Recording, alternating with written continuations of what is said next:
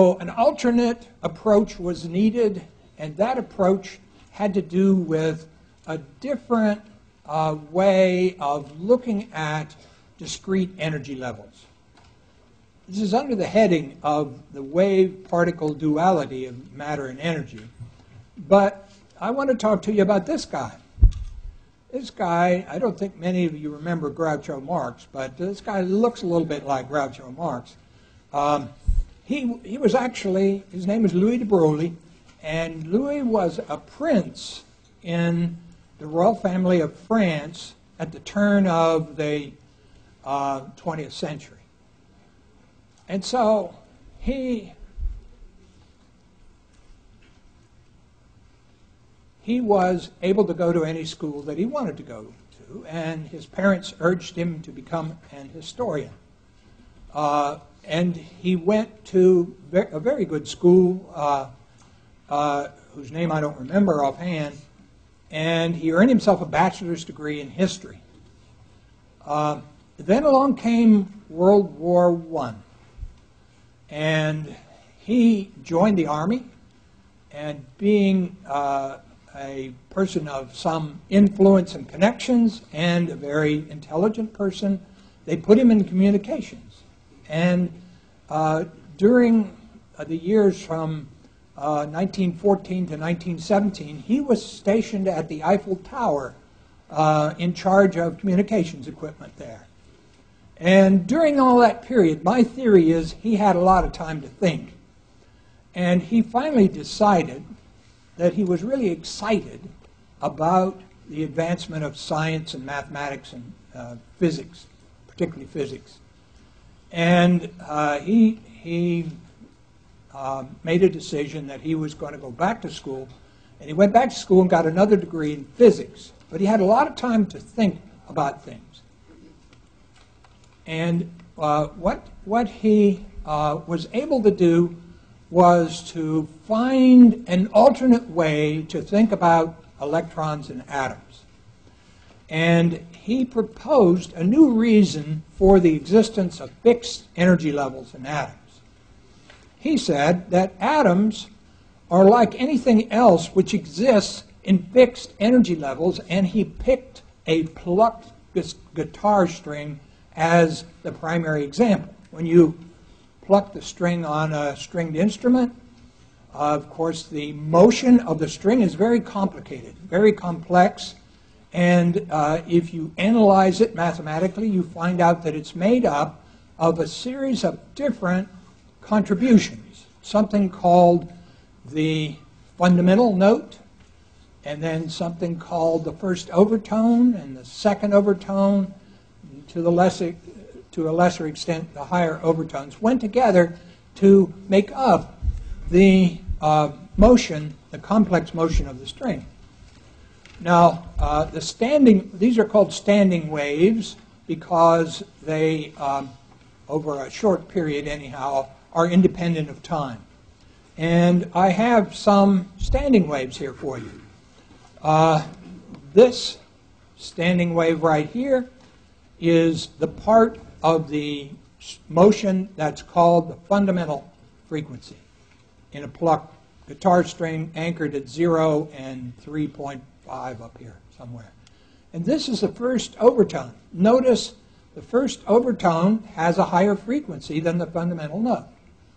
And uh, if we go on down here, this is the second overtone, this is the third overtone, and each one of these have different wavelengths. As you can see, this represents half the wavelength of the fundamental. This is the full wavelength of the first overtone. And uh, what is it, one and a half of the second overtone and two of the third overtone, and so forth.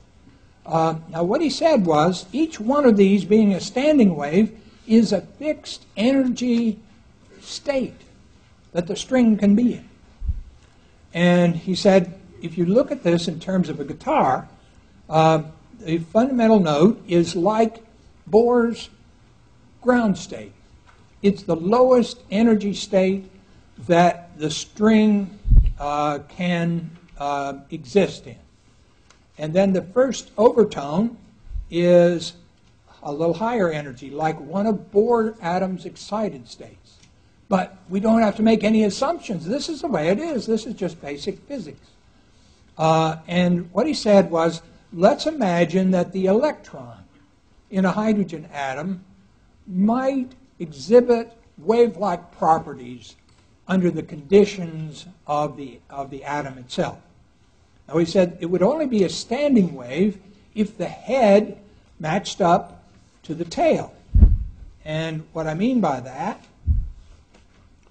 you can see here, uh, if we take a Bohr orbit as the best thing we have available right now, um, if the, uh, if the uh, guitar string follows a Bohr orbit, then it will create standing waves uh, if the number of cycles around the orbit is an integer, a whole number.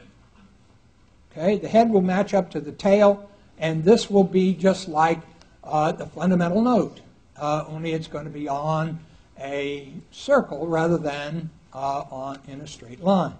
Well, I don't know whether that works or not, uh, but his idea was that if you have a whole number amount of cycles, you get standing waves, and if you have anything else, these things will damp out and cancel. So the allowed states, uh,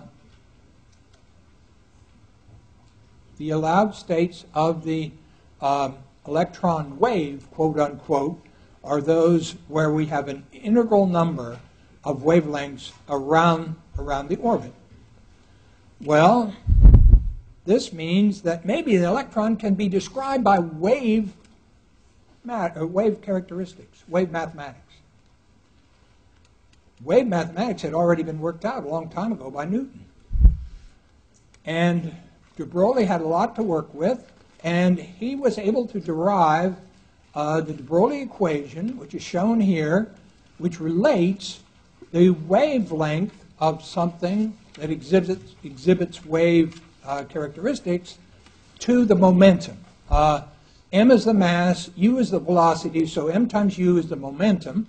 And so this shows that the wave characteristic, the wavelength, is inversely related to the momentum.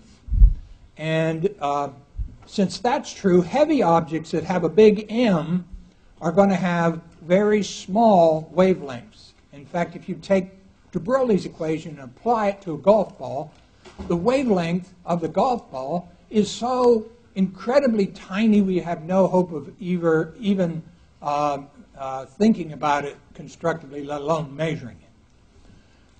Now, what he showed was that fast-moving electrons, where m is very small, uh, have a de Broglie calculated wavelength around 10 to the minus 10 meters.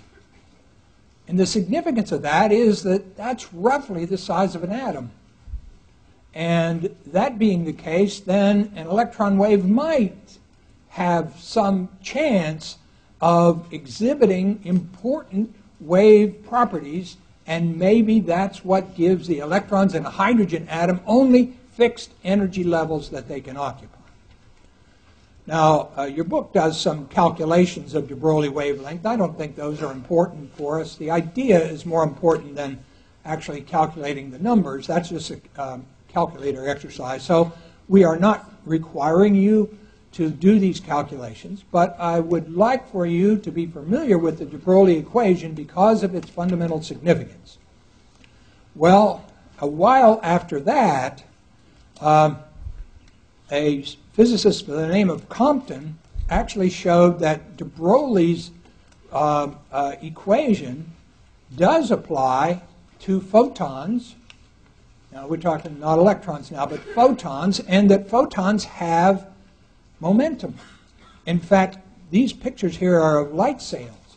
Sometime later this year, the Planetary Society is uh, going to attempt to launch a light sail into orbit. There have actually been a couple of them already.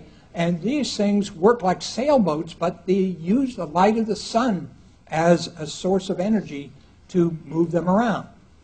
Uh, so uh, this has been science fiction for a long time. It looks like it's going to be science fact pretty soon. So all of this kind of uh, strengthened de Broglie's uh, credibility, if you will. De Broglie did uh, very careful work, and that makes a difference in science. So um, now we need to begin thinking about what are the characteristics of wave phenomena uh, that are different from particles, because what he was proposing was kind of a wave-particle duality. Under some condition, the electrons might behave like a particle, have a mass and charge and so forth. Under other conditions, maybe they would behave in a more wave-like uh, approach. So I want to talk very briefly about wave diffraction. Uh, if you have, let's say, a jetty down at Galveston that has a hole in it, right? Uh, and here's, here's the jetty, and there's a hole, and there's a series of waves coming in. In the water behind the jetty, uh, you get propagation of the waves in, in what's called a semicircular wave, like this. If you haven't seen it, the next time you're down there, look for it, because there are a few jetties that, that do have holes in them. Um, if you compare this to a stream of particles like shining uh, a flashlight on a hole in a piece of cardboard, you get a beam. You don't get this propagation of a semicircular wave. So you can think of a beam of particles as having, uh, this is one way a beam of particles is different from a, um, a wave, a set of waves here. Okay? Um, now, if light waves pass through, through, through two adjacent slits, each one of the slits or the holes uh, sources a semicircular wave. And if those waves come out of the two holes and they're lined up in terms of um, their uh, peaks and troughs here, then uh, there is what we call reinforcement. These two waves would reinforce and make a bigger wave that has a larger amplitude. And this, this, if you were the observer over here, you would see this as a sort of a bright spot because the, the uh, amplitude of the wave depend, de determines the brightness that your eye sees. On the other hand, if the waves came out so that peak was lined up with trough and trough with peak, then uh, this would be a dark spot because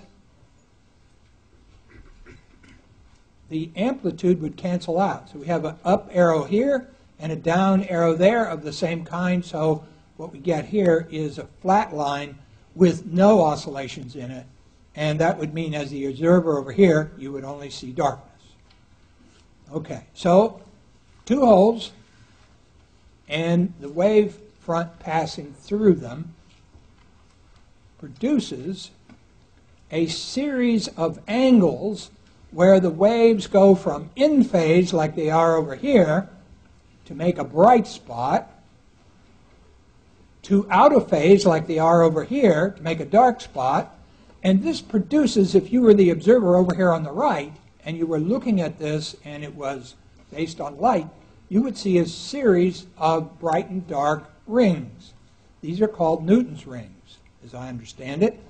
And uh, uh, I have I found a picture of these. Uh, this is a, called a diffraction pattern. These circular, um, alternating dark and light lines, uh, and I found one that's produced by X-rays. So the question is, um, does the electron wave produce a diffraction pattern? if it's a real wave, if electrons can behave as wave, and de Broglie was right, they should exhibit the interference possibility and diffraction. Now you need the right size holes for this to happen in. The holes have to be separated by a distance which has a close resemblance to the wavelength. And um, many physicists started to uh, run experiments to try to see whether this would happen. The first ones who were successful were a couple of American physicists. There haven't been many Americans in my stories for you here yet, but Davisson and Germer were American physicists. They produced electron beams, uh, and in 1927 they published a paper that showed uh, that electron beams are diffracted by aluminum foil. And uh, the electrons, therefore, are undergoing interference, positive or constructive and destructive interference, and that produces these rings. And from that, de Broglie's whole idea was um, solidified, if you will. Electrons, under some conditions, do behave as waves. Okay, that opened a really big door because, as I said a few moments ago, wave mathematics was fully developed at that point. But wait, this guy just said this. This fellow's name is Werner Her- uh, Heisenberg. Werner Heisenberg. He said, if an electron has both particle and wave properties, how can you ever know where it is? If it's behaving as a wave, uh, in, only in general terms can you describe where a wave is. You could describe where a given spot on a wave might be, but he was concerned that um, that sort of took away the regular physics view of things, uh, whereby you would like to know where something is and how fast it's moving. He said, with this approach, you can't do that. And in fact, his uncertainty principle, uh, which he is known uh, far and wide about, said that you can't determine the exact position and the exact energy of a wave particle like an electron simultaneously. So you have to give up one of them. And uh, since it was very important to talk about fixed energies of electrons and atoms, what they did was they picked energy and they gave up knowing where the electron was. From there came the concept of electron density that we'll be talking about. And this was the second step into quantum mechanics. So quantum mechanics cannot prescribe exact path for electrons. So Bohr's orbits had to be kicked out again, even though they didn't work and were kicked out already. You could not specify a fixed orbit uh, because that would mean that you couldn't give the precise energy of the electron that was in that orbit. And they wanted to use the energies. At best, you could talk about the probability of finding the electron in a given volume of space. And we have come to think about that idea as representing electron density, right? The probability of finding the electron in a volume of space that we